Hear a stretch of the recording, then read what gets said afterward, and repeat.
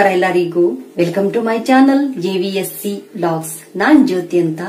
ನಿಮ್ಮೆಲ್ಲರಿಗೂ ದೀಪಾವಳಿ ಹಬ್ಬದ ಹಾರ್ದಿಕ ಶುಭಾಶಯಗಳು.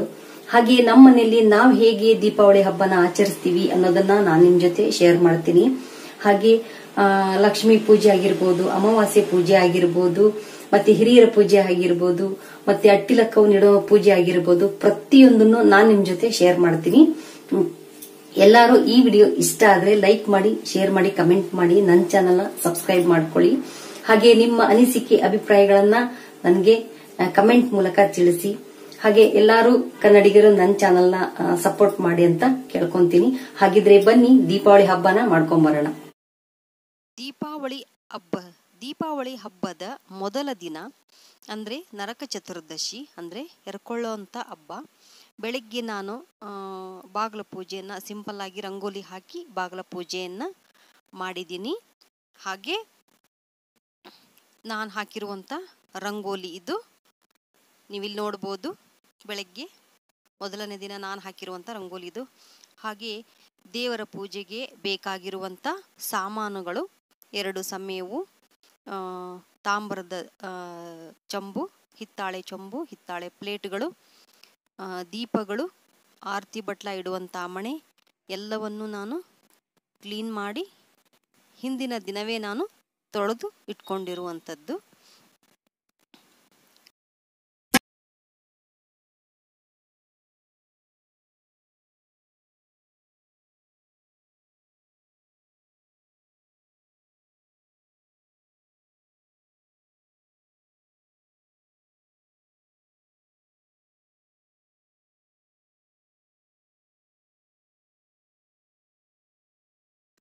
ಓಕೆ?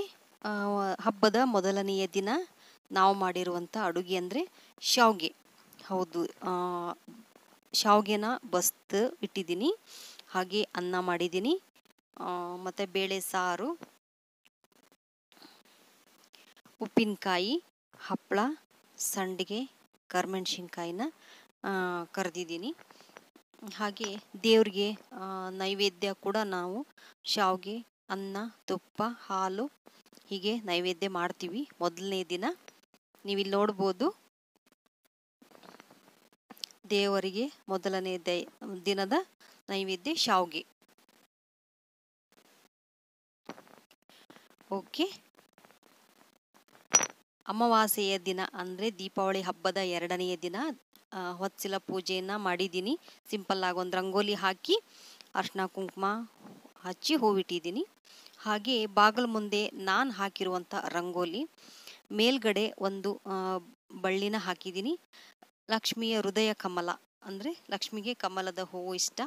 ಹಾಗಾಗಿ ನಾನು ಅಮಾವಾಸ್ಯೆ ಬಂದರೆ, ಶುಕ್ರವಾರ ಬಂದರೆ ನಾನು ಕಮಲದ ಹೂವನ್ನು ನಾನು ಹಾಕ್ತೀನಿ.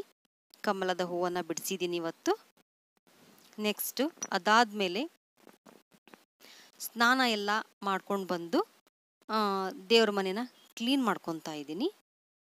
ಇಲ್ಲಿ ನೋಡ್ಬೋದು. ದೇವ್ರ ಮನೆಯನ್ನೆಲ್ಲ ನಾನು ಕ್ಲೀನ್ ಮಾಡ್ಕೊತಾ ಇದ್ದೀನಿ.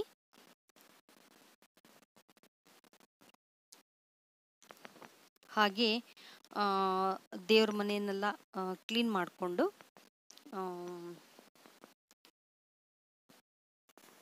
ದೇವ್ರ ಮನೆಯೆಲ್ಲ ಕ್ಲೀನ್ ಆದಮೇಲೆ ದೇವ್ರ ಪೂಜೆನ ಮಾಡ್ತೀನಿ. ನೀವಿಲ್ಲಿ ನೋಡ್ಬೋದು.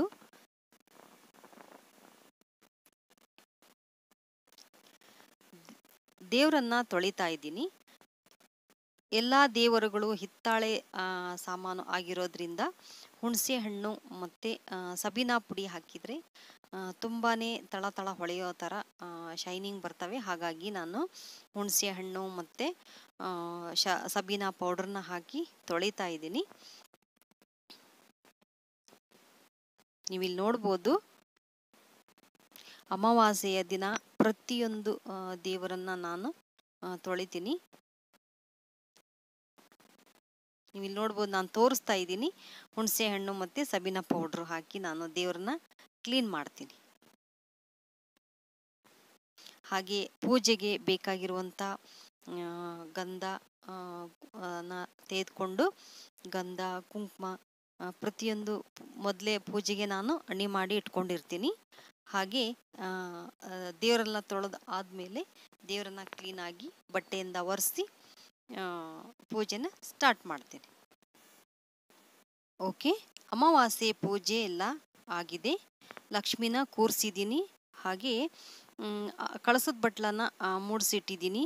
ದೇವರಿಗೆ ಕಾಯಿನ್ ಬೆಳ್ಳಿ ಕಾಯಿನು ಮತ್ತು ತಾಮ್ರದ ಕಾಯಿನನ್ನು ಇಟ್ಟು ನಾನು ಪೂಜೆ ಮಾಡಿದ್ದೀನಿ.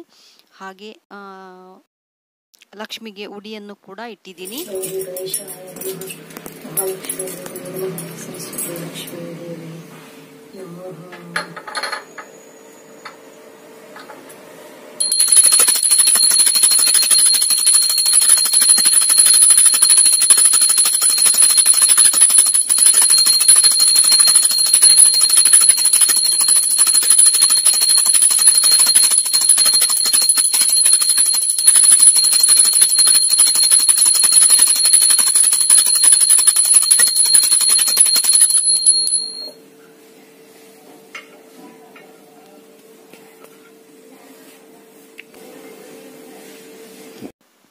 ದೇವರಿಗೆ ಮತ್ತೆ ಲಕ್ಷ್ಮಿಗೆ ಆರತಿನ ಮಾಡ್ತಾ ಇದ್ದೀನಿ. ದೇವರಿಗೆ ಮತ್ತೆ ಲಕ್ಷ್ಮಿಗೆ ಆರತಿ ಮಾಡಿ ಮಾಡಿ ಆದಮೇಲೆ ಮತ್ತೆ ಬಾಗಿಲಿಗೆ ಆರತಿನ ಮಾಡಬೇಕು. ಓಕೆ. ಅಮಾವಾಸ್ಯೆ ದಿನ ಪೂಜೆ ಮಾಡಿರುವುದನ್ನು ನೀವಿಲ್ಲಿ ನೋಡ್ಬೋದು. ದೇವ್ರ ಜಗಲಿ ಅಮಾವಾಸ್ಯೆ ದಿನದ ಪೂಜೆ ಅಂದರೆ ತುಂಬ ಜಗ ಜಗ ಜಗ ಅಂತ ಹೊಳಿತಾ ಇರುತ್ತೆ. ನೀವಿಲ್ಲಿ ನೋಡ್ಬೋದು. ಹಾಗೆ ಪ್ರತಿಯೊಂದು ದೇವರನ್ನು ಕ್ಲೀನಾಗಿ ತೊಳೆದು ಅವತ್ತಿನ ದಿನ ಹಬ್ಬ ಅಂತ ಪೂಜೆ ಮಾಡ್ತೀವಿ. ಪ್ರತಿದಿನ ಮಾಡೋದಕ್ಕಿಂತ ಸ್ವಲ್ಪ ವಿಶೇಷವಾಗಿಯೇ ಇರುತ್ತೆ. ಹಾಗಾಗಿ ಜಗಲಿ ಮಾತ್ರ ತುಂಬ ಚೆನ್ನಾಗಿ ಕಾಣಿಸುತ್ತೆ. ನೋಡ್ತಾ ಇದ್ರೆ ಆ, ದೇವ್ರ ಮನೆ ಬಿಟ್ಟು ಆಚೆ ಬರಬೇಕು ಅಂತ ಅನ್ಸೋದೇ ಇಲ್ಲ. ಅಷ್ಟು ಚೆನ್ನಾಗಿ ಪೂಜೆ ಕಾಣ್ತಾ ಇರುತ್ತೆ. ನೀವು ಇಲ್ಲಿ ನೋಡ್ಬೋದು ನಾವು ಪ್ರತಿದಿನ ಜಗಲಿ ಮೇಲೆ ಲಕ್ಷ್ಮಿನ ಕೂರಿಸ್ತೀವಿ. ಹಾಗೆ ದೀಪಾವಳಿ ಅಮಾವಾಸ್ಯೆ ದಿನ ವಿಶೇಷವಾಗಿ ಆ, ಮತ್ತೊಂದು ಆ, ಲಕ್ಷ್ಮಿಯ ಮೂರ್ ಲಕ್ಷ್ಮಿನ ಕಳಸವನ್ನು ನಾನು ನಾವು ಪ್ರತಿಷ್ಠಾಪನೆ ಮಾಡ್ತೀವಿ. ಹಾಗಾಗಿ ನಮ್ಮ ದೇವ್ರ ಜಗಲಿ ಮೇಲೆ ನೀವು ಎರಡು ಕಳಸವನ್ನು ನೋಡ್ಬೋದು. ಮಧ್ಯದಲ್ಲಿ ಕುರುವತ್ತಿ ಬಸವೇಶ್ವರ ಸ್ವಾಮಿಯ ಫೋಟೋ ಇದೆ. ಹಾಗೆ ಬೆಳ್ಳಿ ಕಾಯಿನ್ಗಳನ್ನು ಇಟ್ಟು ನಾನು ಪೂಜೆ ಮಾಡ್ತೀನಿ. ನೋಟುಗಳನ್ನು ಇಡೋದಿಲ್ಲ. ನೆಕ್ಸ್ಟು ಅಮಾವಾಸ್ಯೆ ಪೂಜೆ ಎಲ್ಲ ಆದಮೇಲೆ ನಾನು ಅಡುಗೆ ಮಾಡೋದಕ್ಕೆ ಸ್ಟಾರ್ಟ್ ಮಾಡ್ತೀನಿ.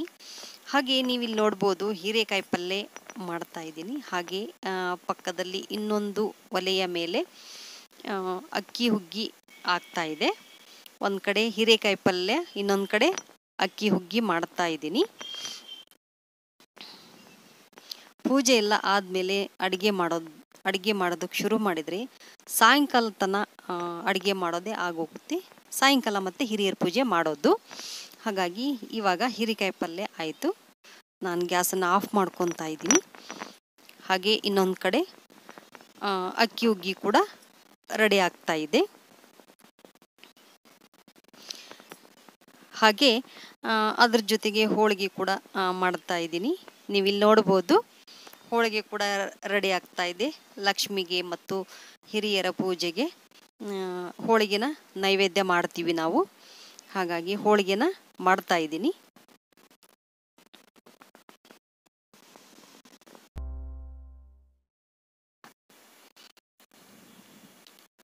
ಓಕೆ, ಇವಾಗ ಅಡುಗೆ ಏನೇನಾಗಿದೆ ಅಂತ ನಾನು ನಿಮಗೆ ತೋರಿಸ್ತೀನಿ. ಕಟ್ಟಿನ ಸಾಂಬಾರು, ಅಕ್ಕಿ ಹುಗ್ಗಿ, ಹೀರೆಕಾಯಿ ಪಲ್ಯ ಹಾಗೆ ಅನ್ನ ನೈವೇದ್ಯಕ್ಕೆ ಅಂತ ತಕ್ಕೊಂಡಿದ್ದೀನಿ. ಆಗಲೇ ನಾನು. ಹಾಗೆ ಹೋಳಿಗೆ, ಉದ್ದಿನ ವಡೆ, ಹಾಗೆ ಕೋಸಂಬರಿ ಇಷ್ಟು ಅಡುಗೆನ ಮಾಡಿ ದೇವರಿಗೆ ನೈವೇದ್ಯನ ಮಾಡ್ತೀವಿ. ಹಾಗೆ ಹಿರಿಯರ ಹಿರಿಯರ ಪೂಜೆನ ಮಾಡಿರೋದನ್ನು ನೀವಿಲ್ಲಿ ನೋಡಬಹುದು. ಹಿರಿಯರ ಪೂಜೆ ಮಾಡಿದ್ದೀನಿ. ನೀವಿಲ್ಲಿ ನೋಡ್ಬೋದು